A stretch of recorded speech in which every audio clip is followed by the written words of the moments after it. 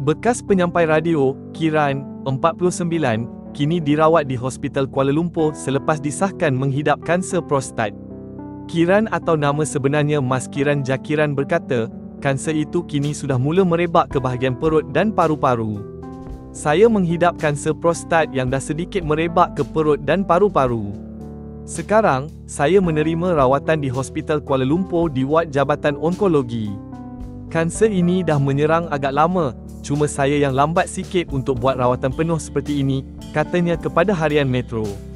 Perlu menjalani empat kali sesi kemoterapi, Kiran akan terus ditahan di wad sehingga Isnin bagi memudahkan pihak hospital memantau keadaan kesihatannya.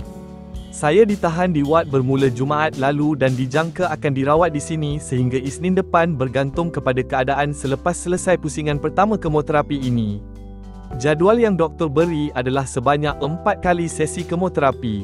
Ini sesi minggu pertama selama 5 hari dan dimulakan dengan dos rendah terlebih dahulu bagi lihat reaksi pada tubuh.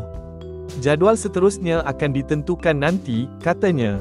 Sejak Ogos lalu, Kiran mula menolak tawaran kerja pengacaraan untuk majlis dan turut dinasihatkan doktor untuk berehat.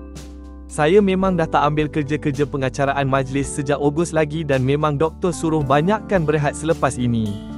Nampaknya, saya kena rehat betul-betul untuk kebaikan. Maaf kepada yang tawarkan kerja dan saya terpaksa tolak kerana keadaan saya tidak mengizinkan, katanya. Terima kasih kerana menonton. Kalau anda suka video ini, jangan lupa untuk like, share dan subscribe. Kita jumpa lagi dalam video akan datang.